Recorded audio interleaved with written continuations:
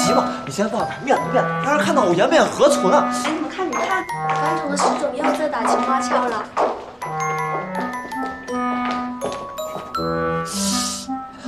你看，让你注意点影响。我一个黄花大闺男，我可是要结婚生孩子的。我的清白呢？你怎么什么都往外说呀？请你原谅我，没有下次了。哎石总等等，正好你们俩在这儿。今天下午公司篮球赛，你们两个一个都不能少。咱们两个组得好好的赛一场，赢的队儿还有奖金呢。又到了公司运动会的时候了。我们组要拿大满贯，就从篮球赛开始。我又不去了。哎，不行，打球去。比赛完了，把风貌焕然一新，好的不好的就都过去了。真不去了啊？去吧，把痛快跟不痛快都当成汗水洗掉，不就都没了？我工作没做完呢。舒晨，咱们两兄弟都多久没打球了？自从那个惹祸精来了，搅和咱俩感情。啊，不对对对对对对，我去啊！这再说下去，谁的清白都没了。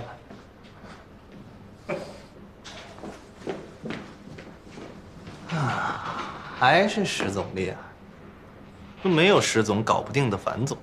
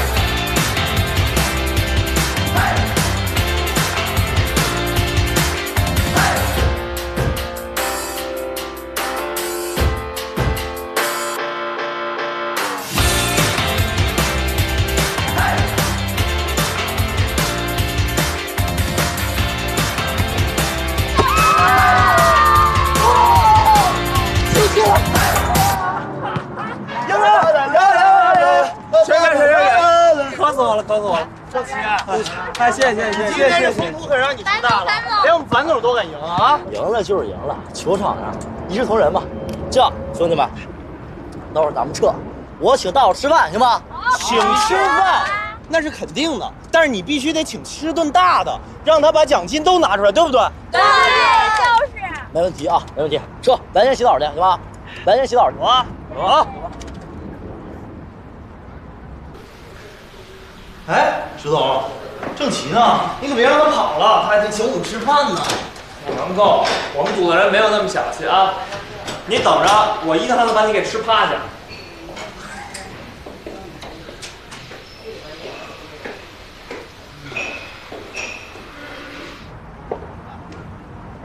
郑奇，洗好了啊，行了，好了，哎呀，选好地儿了吗？我饿了。好了，走啊！哎，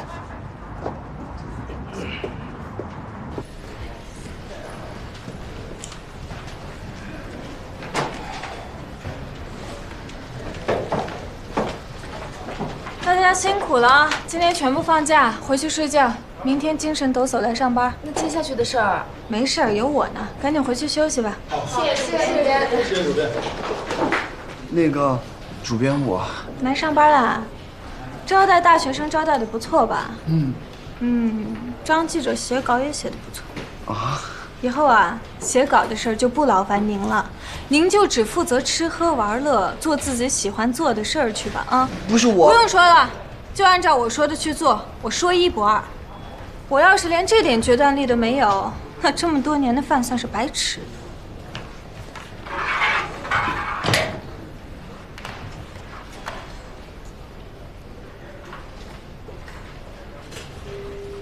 呃，我再要一个这个木瓜炖雪蛤。哎，你们还有没有人要点的？哎，我要我要，正旗请客对吧？不要白不要啊！那个，我觉得差不多了啊，吃的都挺好，咱们可以撤了啊。怎么着啊？这老婆大人管得严啊！哎，说起来，齐哥你真是好福气啊！你是怎么找到那么大个美人的？是啊，正熙，没看出来啊，有点本事啊。可以，谢谢谢谢。不行不行不行，我越想越觉得亏得慌。咱们怎么着得一人再来一份甜点，你 OK 不？好，好，OK OK，这个可以。差不多得了，没那么多钱了，就五百块钱奖金。你可别闹了。行了，咱们还老规矩，A 吧。啊，你们女生就甭掏了，咱们几个男的掏了吧。好，这太不靠谱了。这个太专业了啊！你看，你看，说好了让郑琪请客的，人这是科学的方法。就这样啊。哎，要不咱们不吃了吧？樊总都还在忙，我们怎么好意思继续吃呢？就是，还不赶紧在老板面前好好表现表现，加班去。服务员，买单。这位先生已经买过单了。啊，那咱们一块儿敬樊总一杯吧。谢谢樊总，谢谢樊总请客。谢谢樊总。这段时间大家辛苦了，以后啊，继续努力啊。鸿门宴，我告诉你不白吃，就哄着我们加班呗。够狡猾的，樊总。走吧。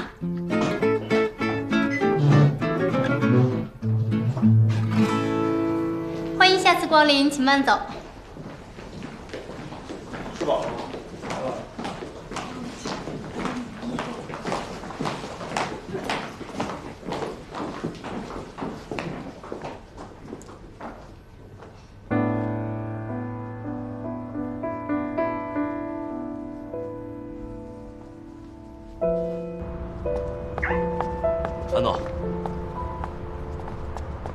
樊总，哎，刚刚真的谢谢你了。小事儿，别放在心上。一直以来你也辛苦了，好好干，来年让水总给你提绩效、加工资。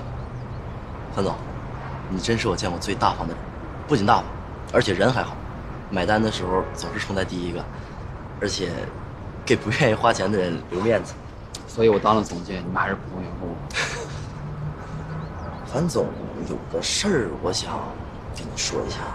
嗯，您知道石总和骆宗良走得挺近吗？我这有他们照片。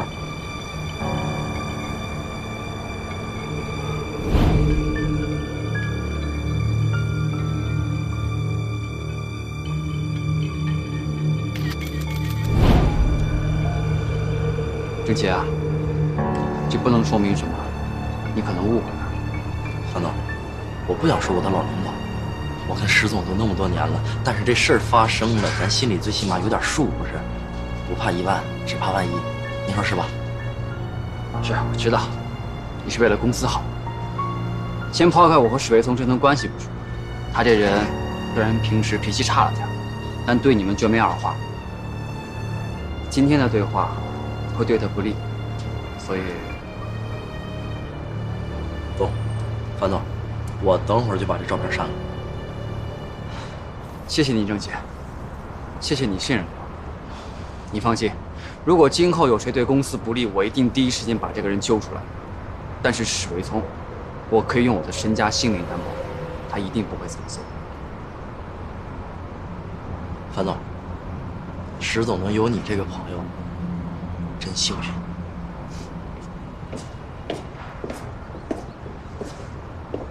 郑琪找你干嘛呀？怎么我一来他还走了？你们俩说什么悄悄话呢？你能不能不蹭我车呀？我爸又把我车开走了。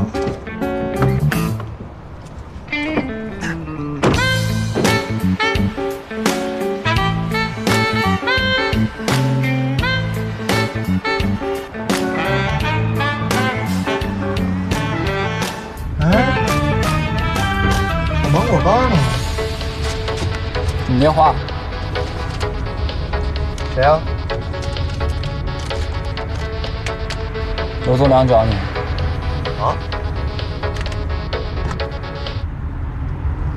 哎，骆总。啊，我最近特别忙。行，下次再约。这陆宗良就是闲了我。哎呀，你说都这么多年了，他怎么还对你念念不忘？子聪，你还记得当年咱们进飞离，还尊称他一声骆总的时候吗？怎么不记得啊？他那个时候啊，也是雄心壮志，说要带着菲林当业内第一。结果呢？他以前就算再贪婪，也绝对不会跟博曼同流合污。骆宗良这人啊，也算堕落到底。算了，不提他了，咱们还有更重要的事情要做。别怪我没提醒你啊，他这个人心眼就针尖儿这么点儿大。我觉得他指不定已经在鼓捣什么复仇计划了，你小心点啊！当我樊崇臣的敌人那么容易啊？哎呦，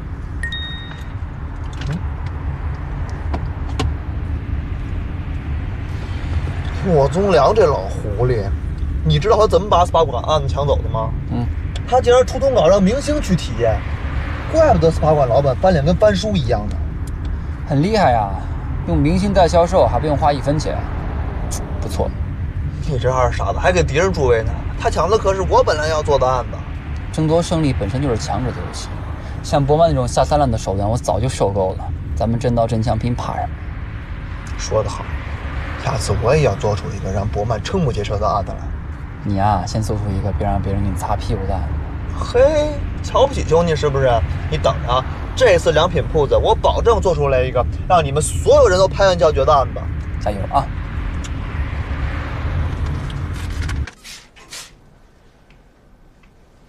你要请一个星期的假？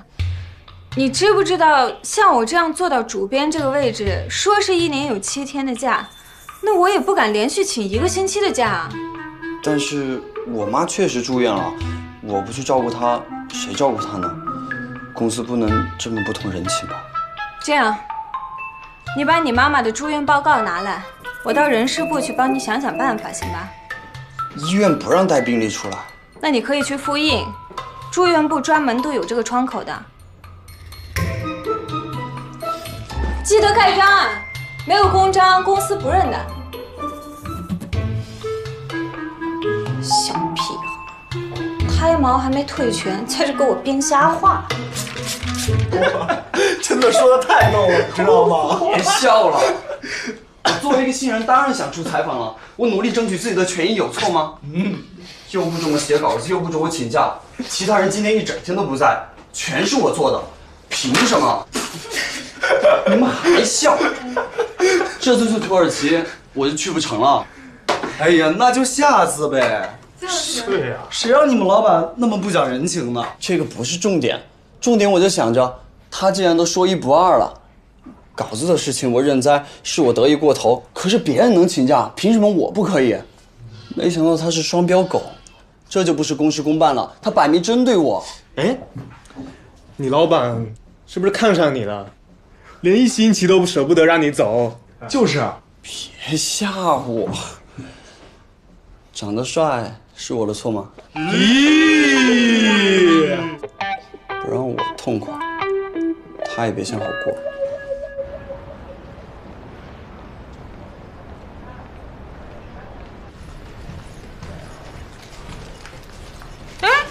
怎么了这是？死了。死了？我昨儿看还好好的。唉，草有旦夕祸福，您就为他们默哀吧。新的我都已经给你准备好了。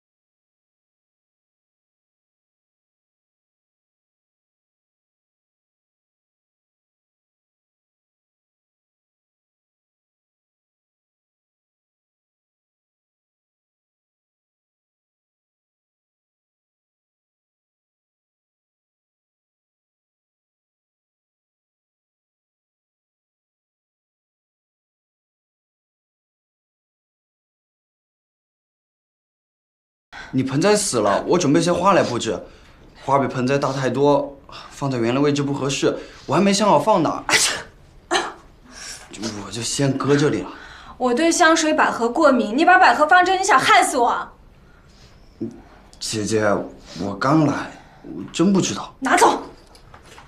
哦，对不起，对不起。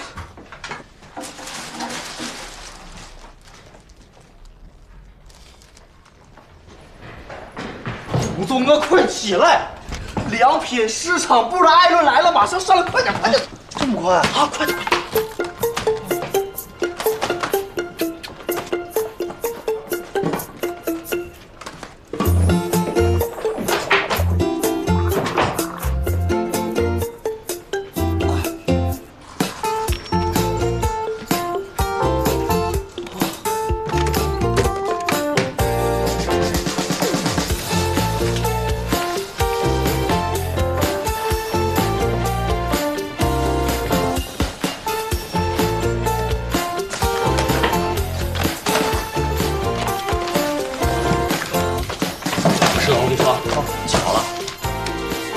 是陈总的，他带他女朋友去两张；这个是王总的，他老婆出国了，他带他女儿去也是两张；这是艾伦的，里头有三张。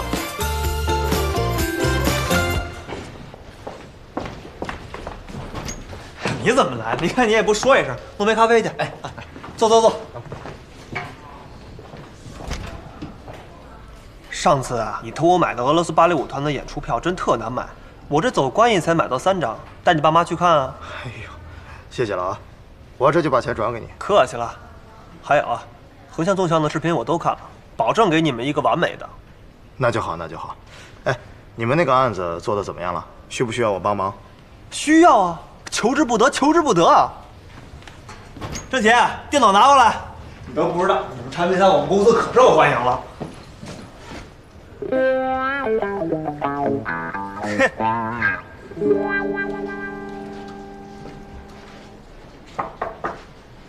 请进。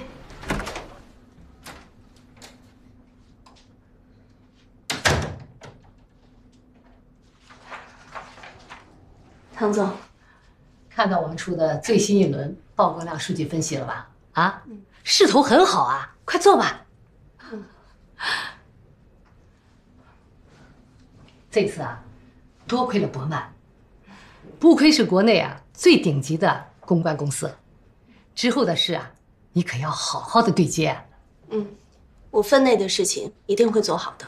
博曼给我打好招呼了，之后要是有记者采访的话，关于菲林横插一脚，想从博曼的手里抢走我们这次案子的事情，你可要直说啊，唐总。菲林什么时候要从博曼手里抢案子了？那件事情都是我一手造成的，是我看不上博曼，是我想让菲林来参。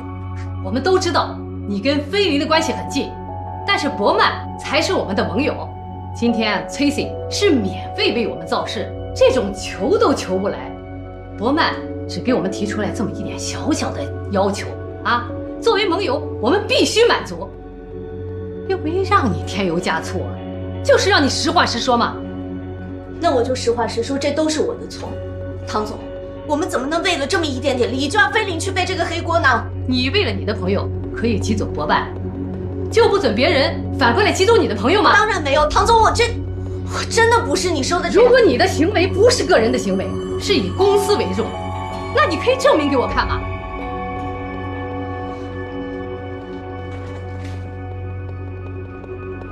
安排好记者的访问，让博曼满意。让我满意。这里是工作场合，别总惦记着那些亲疏关系。好的，我知道了。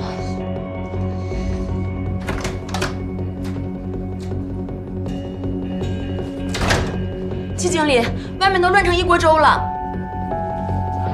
这就是那个女明星经常来的 SPA。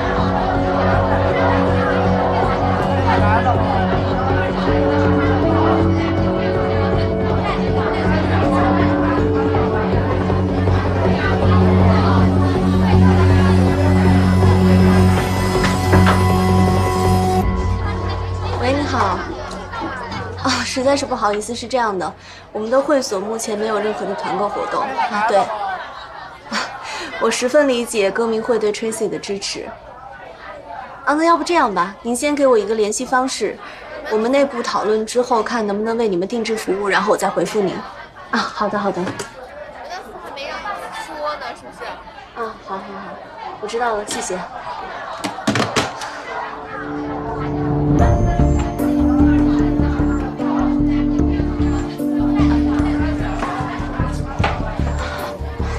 这样下去不是办法。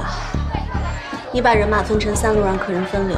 嗯，然后你先派年轻一波的员工去对付这帮学生党，他们消费力不够，肯定承受不了这样高额的价格，他们一定是散的最早的。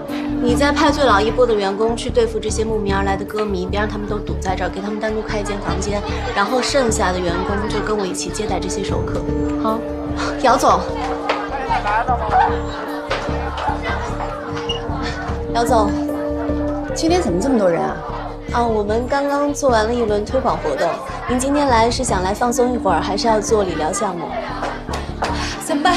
有个学生非要闯到 Tracy 用过的房间，惊吓到你们的客人了。哎，姚总，我还是改天再来吧。哎，姚总，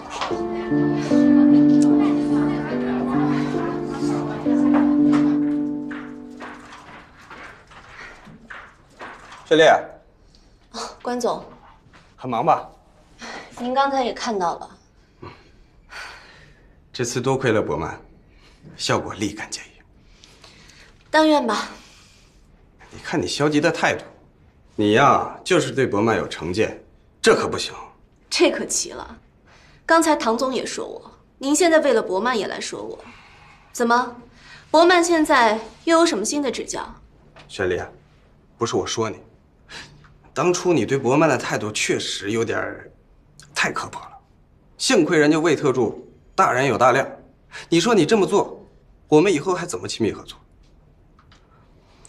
要不这样，你去伯曼给魏特助赔个礼，道个歉，要不然公关这边也不好做。笑话！你不把这件事摆平，不让人出这口气，我们合作起来很尴尬。再说，你认为你朋友那边能好过吗？你要不是把人得罪这么狠，你认为他们会这样不依不饶的吗？自己考虑考虑吧。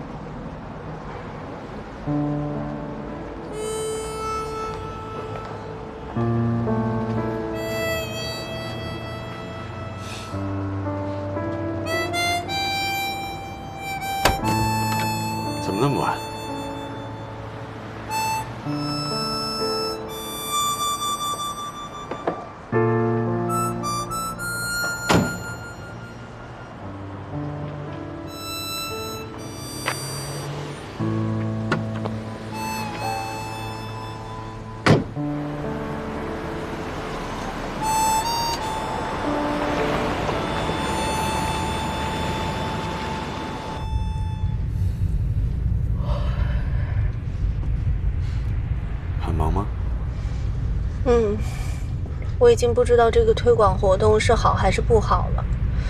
我们会所现在热度是很高，但成交量根本就没有明显的提升，我总觉得有点得不偿失，白忙一场。你有跟舒晨他们说吗？没有啊，干嘛跟他说啊？我既然决定了，自己扛就好了。这么逊，说出去了多丢人啊！你呀你，就是死鸭子嘴硬。你要是累的话，就不要做了，就跟他们说老娘不干了，这才是你。又不是三岁小孩，我喝西北风去啊？还是你养我啊？我养啊，又不是养不起。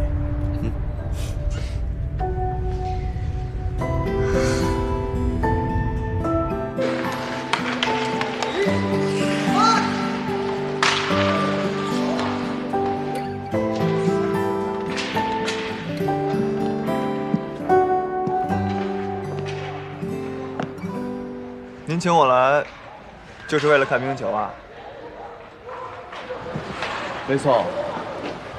你这么说话的话，就对我芥蒂很深啊。咱们也是同行，出来看个球，小聚一下也没什么的。哼，骆总，您可不是一般人。这话要别人说，我一定笑着往下接；可您说，我这得翻过来倒过去想好几遍。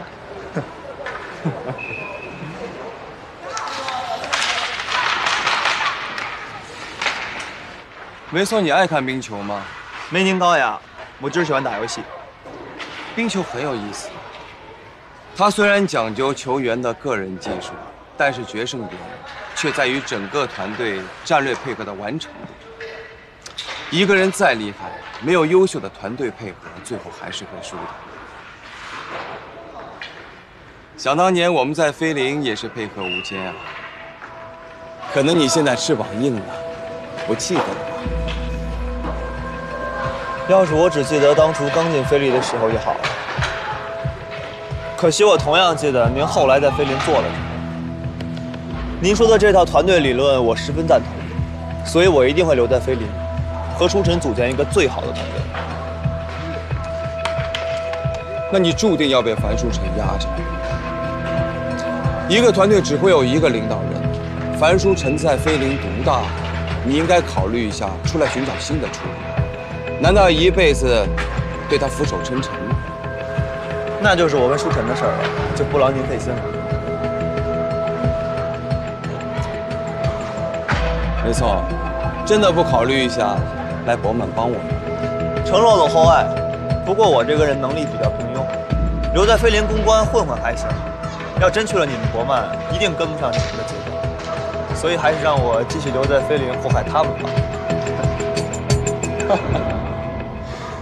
哎呀，看来我是被拒绝了。哎，是我有自知之明。好，那我也不强求了。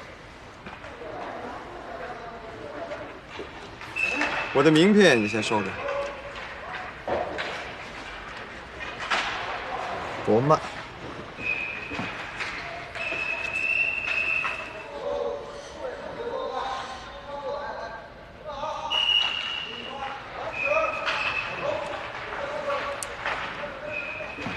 你要改变主意了呢，随时过来找我。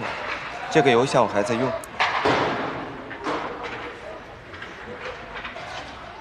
这邮箱是当初你进飞林注册的？用习惯了，有些人事还是老的用的顺手。这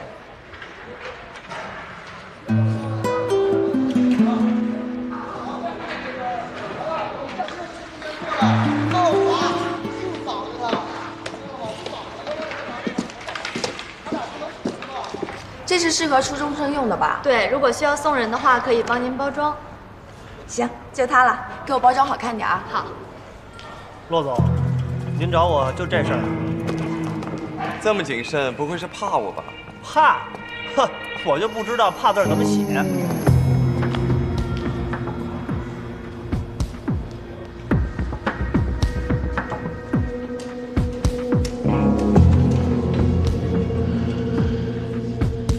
樊总，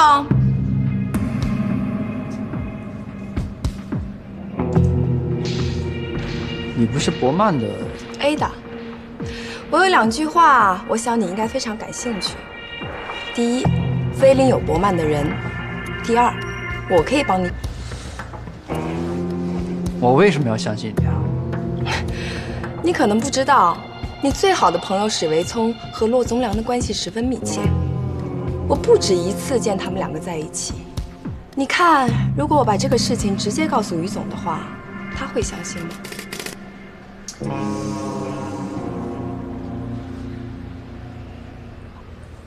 惠达的项目呢，我都全程参与了。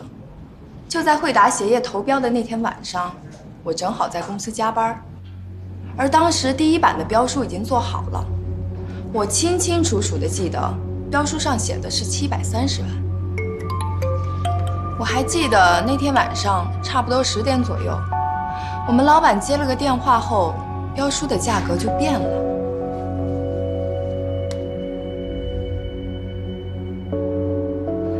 想必这个电话是您看着石总打过去的吧？后来我们都猜测这是你给副总下的一个套，直到我最近才发现，我们的标书不止改了一次。副总在十一点多的时候又接到一个电话，而最后的数字是副总亲自改的，六百三十五万。我知道你们到现在一直都觉得是林子瑜那个小姑娘，可是我可以很肯定的告诉你，绝对不是她。副总在菲林的爪牙肯定早就已经布置好了，林子瑜呢，只不过是骆总带过去的炮灰而已。现在副总让他填坑，无非就是想保全自己的人罢了。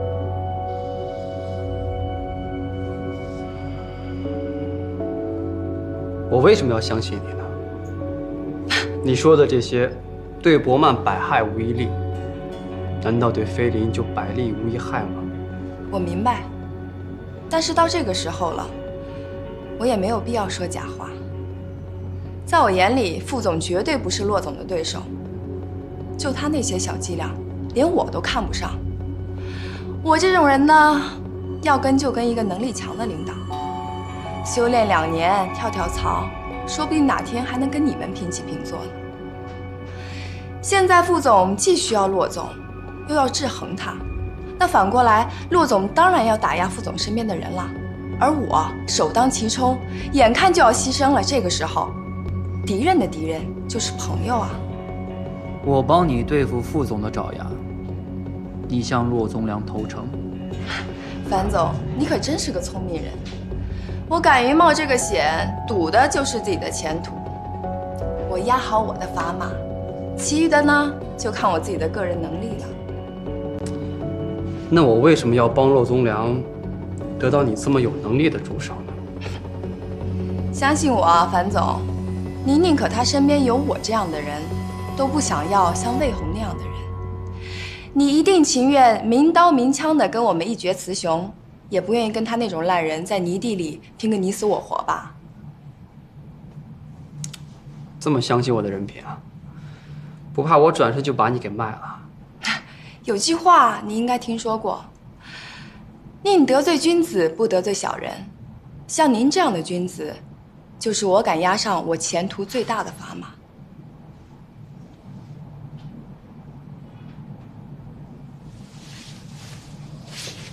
您还有一件事情应该想不到，石总现在可是在玩火呀。我百分之百相信石伟聪。那你最好看看这个。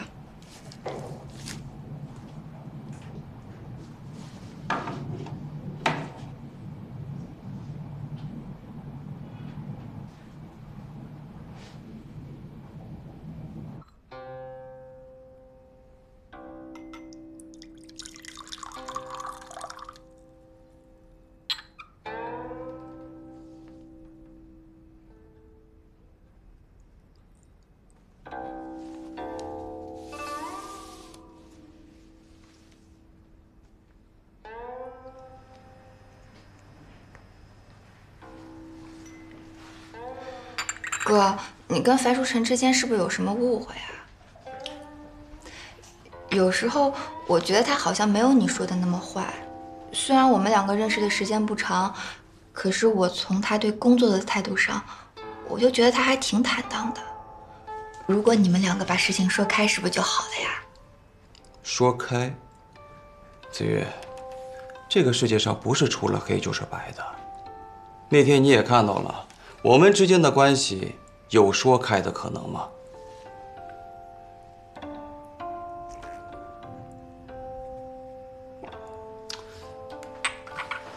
为什么突然问我这个？我是为了你才去菲林的。嗯，我知道你一直都不想让我去菲林，可我特别一意孤行。你知道为什么吗？为什么？我想你回来，我想一家人团圆。我不想一个人孤孤零零的在北京。我没有钱去澳大利亚看你，所以我看到菲林招聘我就去了。我想知道到底发生了什么。而且我万一发现什么蛛丝马迹，这样我就能为你平反了，你就可以回来了。就算我发现不了，但至少我可以在我哥待在过的地方，这样我就觉得你就在我身边，我就不是一个人了。乖了啊，哥。嗯，你原来是不是也特别喜欢菲林？不然你干嘛这么过不去，非要死磕呀？虽然不管别人怎么说，我一定觉得你是被冤枉的，而且会站在你这边。可结果是我去菲林了，我觉得菲林没有那么坏，而且樊书晨那个人，他喜欢什么不喜欢什么，他全都写在脸上。我觉得他也不算是坏人，所以为什么呢？哥，如果有什么苦衷，你就说出来呀。子月，这么说你很喜欢菲林喽？菲林是第一个让我特别有归属感的地方，而且在这我知道我自己能干嘛了，所以我特别感激他。我感谢他给我机会，我感谢他培养我。可是我再喜欢也没什么用，樊书晨他就觉得我肯定是要来祸害菲林的，以他那种人的性格，肯定是容不下我。这个你放心，正因为是樊书晨，所以你想回去，就一定可以回去的。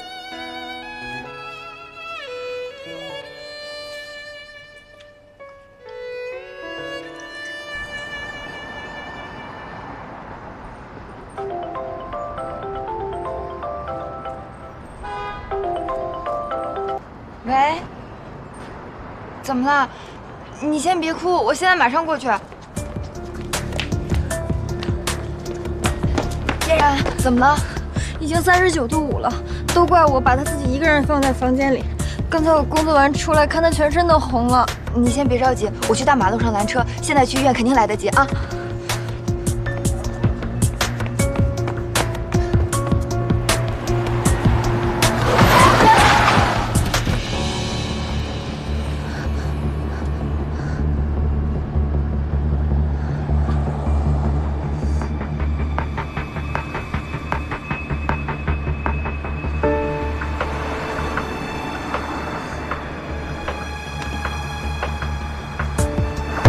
事吧？我我朋友的孩子发高烧了，三十九度五，孩子还很小。我知道你平时看我不太顺眼，人呢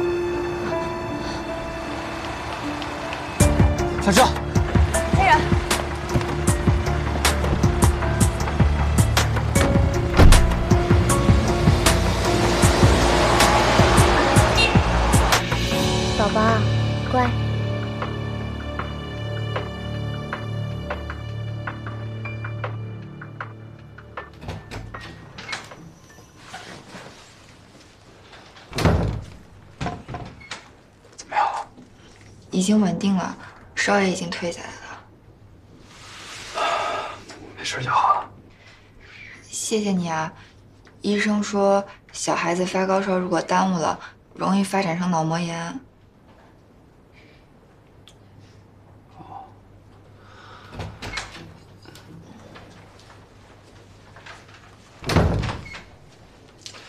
那我先走了。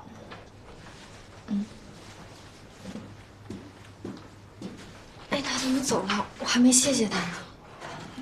累坏了吧？萌萌他怎么样了？萌萌睡着了。那就好。刚刚那个人就是樊书晨。他就是樊书晨。可是看着，怎么也想象不出他以前陷害过你哥呀。他这人看着挺正直的。嫣然，你先回去照看萌萌，我先走了啊。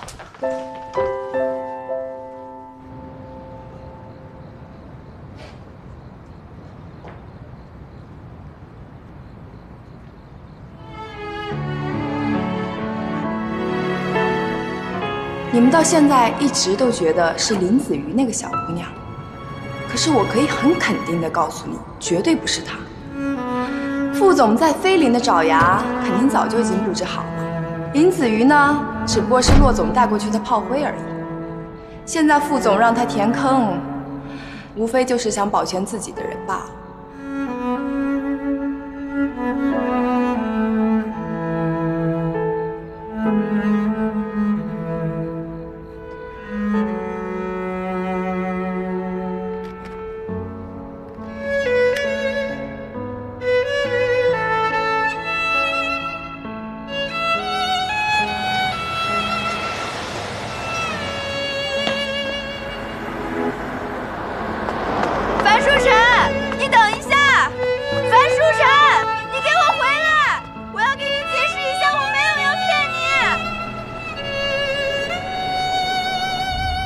们想要争第一，想要做人生赢家，在过程中必定会错失很多东西，这是代价。